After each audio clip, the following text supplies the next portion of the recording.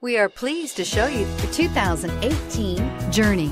Dodge Journey combines the practicality of an SUV with the comfort of a car, all while boasting a style all its own. The Journey's optional third row seat, along with innovative features like a chilled beverage cooler and in-floor storage bins, make it a good and affordable alternative to a traditional minivan. Here are some of this vehicle's great options. Traction control, anti-lock braking system, air conditioning, power steering, cruise control, floor mats, FWD, AM FM stereo radio, rear defrost, climate control, multi-zone.